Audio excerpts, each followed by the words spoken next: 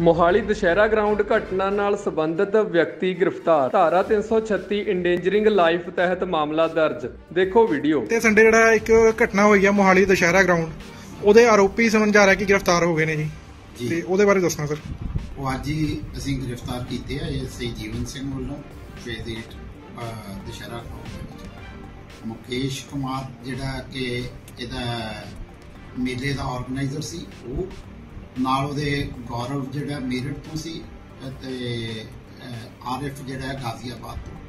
ਉਹਨਾਂ ਦੀ ਤਿੰਨਾਂ ਦੀ ਅਰੈਸਟ ਪਾਈ ਹੈ। ਗੌਰਵ ਤੇ ਆਰਿਫ ਜਿਹੜੇ ਸੀ ਉਸ ਝੂਲੇ ਦੇ ਜ਼ਿੰਮੇਵਾਰ ਸੀ। ਟਾਵਰ ਝੂਲਾ ਜਿਹੜਾ ਸੀਗਾ ਉਹਦੇ ਜ਼ਿੰਮੇਵਾਰ ਸੀ। ਸਰ ਜਿਹੜੇ ਸਰ ਕੱਲ ਬੀਤੇ ਕੱਲ ਇੱਕ ਐਮਐਲਏ ਸਾਹਿਬ ਵੱਲੋਂ ਵੀ ਕਿਹਾ ਗਿਆ ਕਿ ਇਸ ਤੇ ਕੋਈ ਜੁਡੀਸ਼ੀਅਲ ਇਨਕੁਆਇਰੀ ਬਿਠਾਈ ਜਾਏਗੀ ਮੈਜਿਸਟਰਲ ਉਹਦੇ ਬਾਰੇ ਵੀ ਕੋਈ ਜਾਣਕਾਰੀ? ਹਾਂਜੀ ਮੇਰੇ ਏਡੀਸੀ ਜਨਰਲ ਐਸਡੀਐਮ ਸਾਹਿਬ ਮੋਹਾਲੀ ਤੇ ਉਹਨਾਂ ਦੀ ਵੀ ਮੇਰੇ ਗਠਿਤ ਹੋਈ ਹੈ ਤੇ ਜੋ ਆਪਣੇ ਡੀਸੀ ਸਾਹਿਬ। ਸਰ ਇਹ ਐਫਆਈਆਰ ਕਿਹੜੀ ਕਿਹੜੀ ਧਾਰਾ ਤਹਿਤ ਦਰਜ ਕੀਤੀ ਗਈ ਹੈ ਜੀ ਜਿਹੜੀ ਐਫਆਈਆਰ ਨੰਬਰ 123 ਹੈ ਇਹਦੇ ਵਿੱਚ 336 287 337 341 323 34 ਹੈ ਇਸ ਦੀ।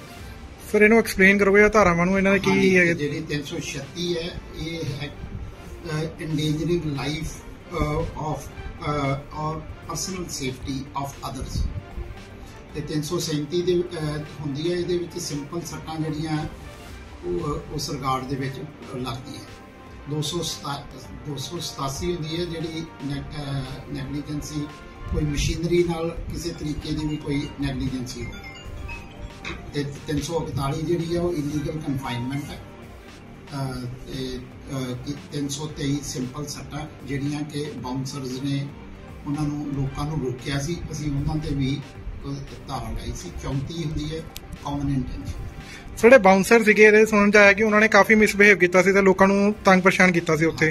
ਤੇ ਉਹਨਾਂ ਚੋਂ ਕੋਈ ਪਹਿਚਾਣ ਹੋਈ ਕਿਸੇ ਦੀ ਜਾਂ ਫੜੇ ਗਏ ਨੇ? ਹਾਂ ਜੀ ਅਸੀਂ ਉਹਨਾਂ ਕੋਲ ਪੁੱਛਗਿੱਛ ਕੀਤੀ ਹੈ। ਜਿਹੜੀ ਕੰਪਨੀ ਕੋ ਉਹਨਾਂ ਨੇ ਉਦੋਂ ਇੱਕ ਦਿਨ ਦੀ ਹੀ ਹਾਇਰ ਕੀਤੇ ਸੀਗੇ ਜਿਹੜੇ ਉਹਨਾਂ ਨੂੰ ਵੀ ਛੇਤੀ ਹੀ ਅਰੈਸਟ ਕੀਤਾ